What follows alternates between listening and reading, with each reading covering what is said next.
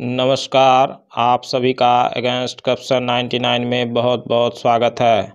आज हम लोग जानेंगे, यदि कोर्ट के, सिविल कोर्ट के, जिला न्यायालय के लोक सूचना पदाधिकारी द्वारा आरटीआई एक्ट का पालन नहीं किया जाता है और इस संबंध में आपने यदि सूचना आयोग में शिकायत बाद दायर किया है तो अपने शिकायत बाद में किस प्रकार आप अपना प्रतिवेदन, अपना पक्ष रखते हुए देंगे।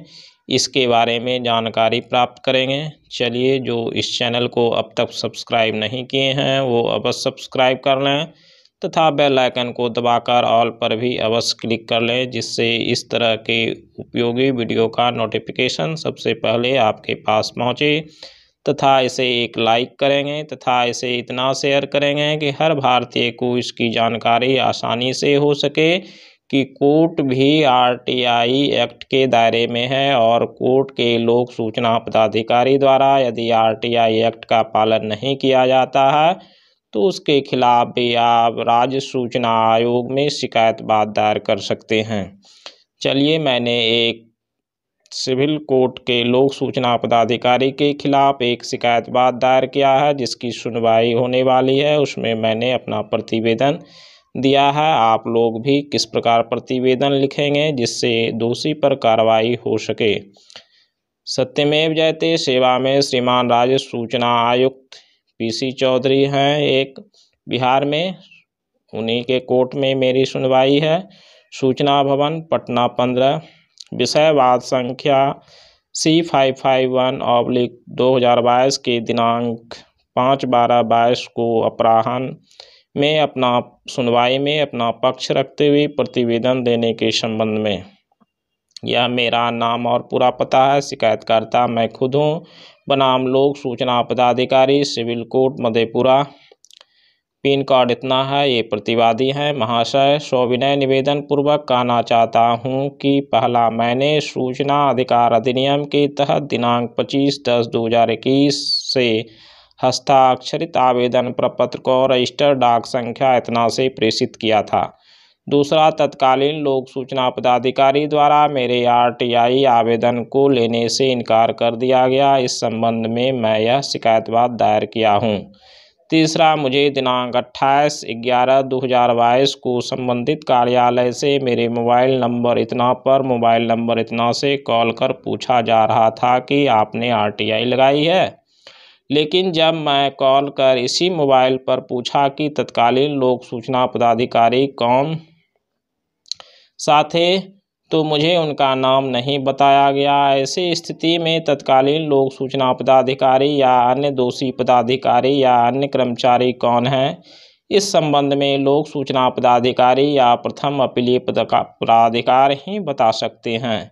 मैंने तत्कालीन लोक सूचना पदाधिकारी की शिकायत किया है, जिसका पता civil court Madhepura, pin code इतना ही है।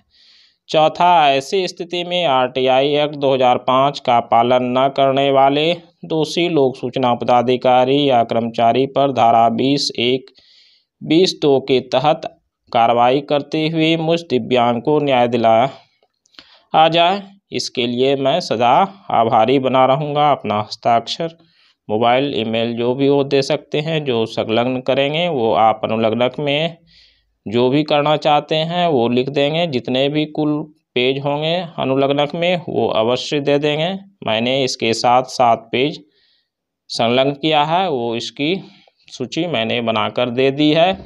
तो इस प्रकार, यदि किसी भी कोर्ट या किसी भी पीआईओ द्वारा आपके आवेदन को लौटा दिया जाता है, लेने से इनकार किया जाता है।